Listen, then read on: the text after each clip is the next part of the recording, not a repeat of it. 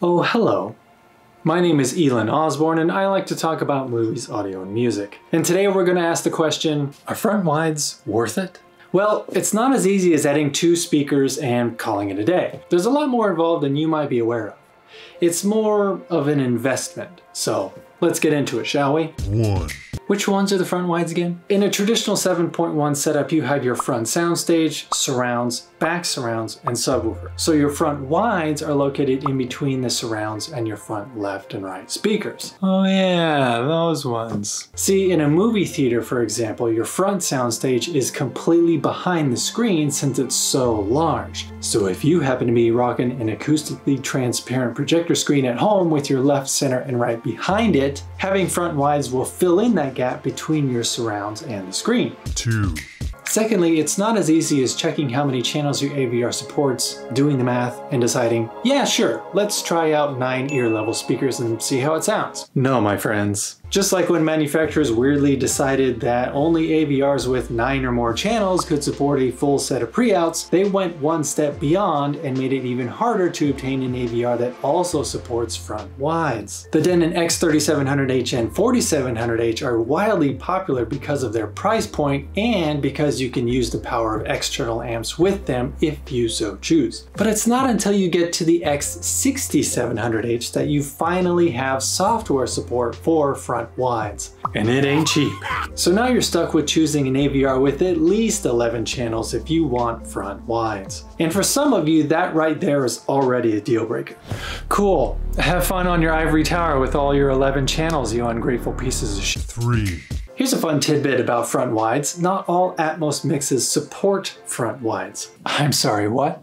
Some Atmos mixes were mixed with a 7.1.4 configuration in mind.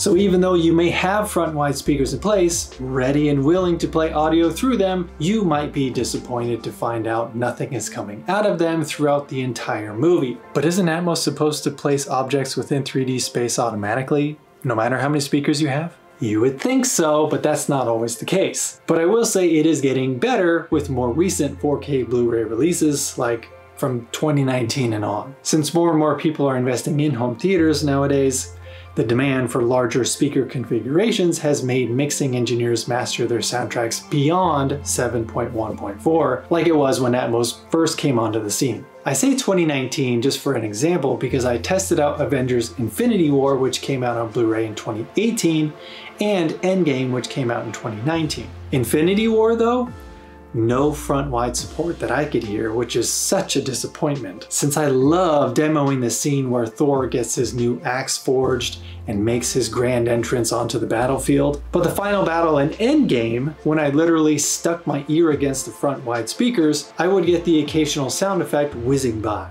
Okay, at least there's something. But maybe it's a Disney thing because I popped in Godzilla from 2014 and it was the same as Endgame. Sparse sound effects that whizzed by or came in and out just to add some immersion to the soundstage. And that came out eight years ago. Same with Midway, sparse sound effects here and there. So already I was like, this isn't that great, TBH. But such is not the case for everything. There are films that were made for front wides, like Godzilla vs. Kong. I know I keep bringing it up like pretty much in every video these days, but the front wides on that movie were active constantly, music and sound effects. So since I had such a mix at hand, I kept switching back and forth between 7.2.4 and 9.2.4, rewinding and watching the same small portions of the ocean battle over and over. When Godzilla fires his beam straight up in the air, when Kong leaps across the aircraft carriers, when Godzilla climbs his way on the carrier, when depth charges detonate, when Kong slams his right fist onto the deck after Godzilla almost drowns him, there honestly was something missing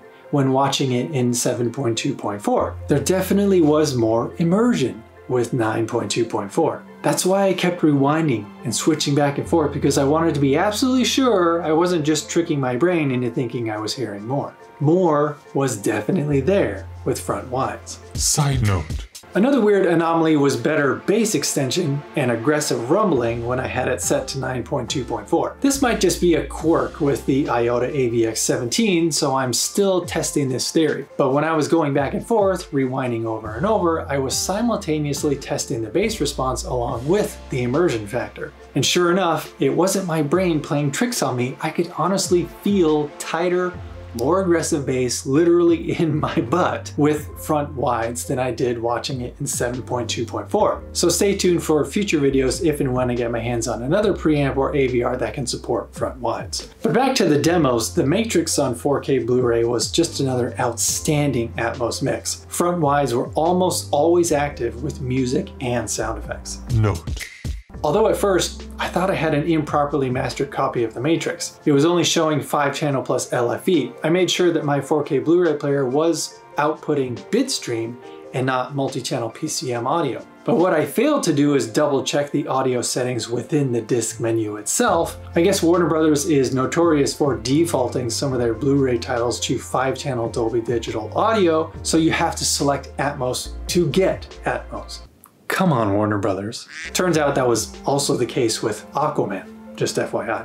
Some other demos I wanted to touch on were Blade Runner 2049, which had very sparse front wide action, no music, and just a very rare short blip of audio. Dang. And the same went for Mad Max Fury Road. I love that Atmos mix, but I did very rarely hear anything coming from the front wides. Again, because I literally stuck my head next to the speaker. I don't have a Trinnov that shows me where the activity is happening. And lastly, Ford versus Ferrari was disappointing with the front wides as well. I was hoping the crowds in the racing scenes would be more active in the front wides, but not so much. Just the occasional whizzing by of a car in very short bursts, or some atmospheric effects, but very quiet compared to the rest of the mix. Double dang. 4. But it's not as disappointing as you might think.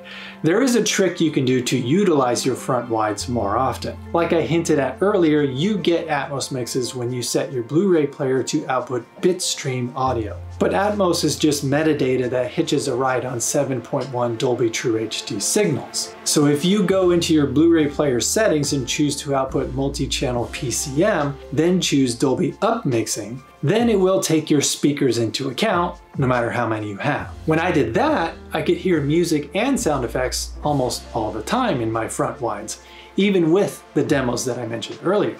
The only downside of doing that is now you've removed the object-based factor of Atmos and changed it to channel-based. And I went back and forth with that as well, and listening to a pure Atmos bitstream signal was better in the end. Better channel separation, audio had more precise placement within the soundstage, and bass response was more dynamic. So yeah, I got more activity out of my front wides by upmixing a PCM signal, but I still prefer a pure Atmos bitstream signal. 5. So maybe this has intrigued you and now you're thinking about adding front wides to your system.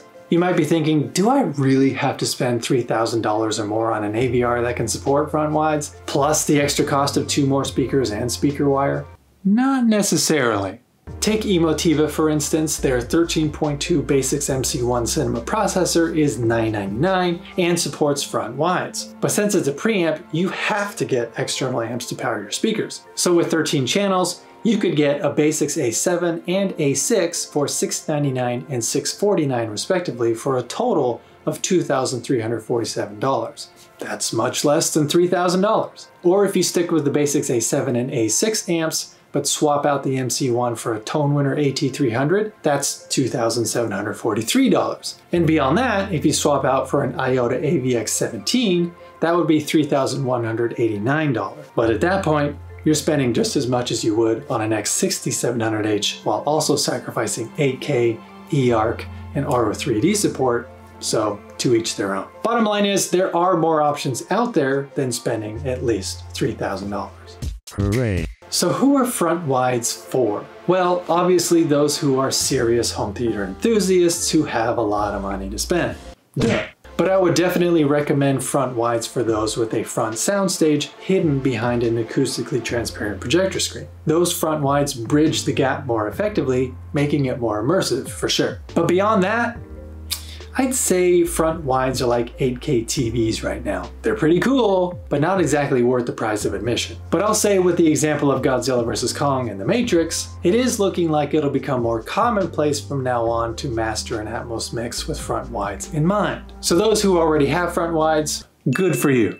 And those planning on adding front wides in a few years down the road, it just might be absolutely worth it by then. Only time will tell.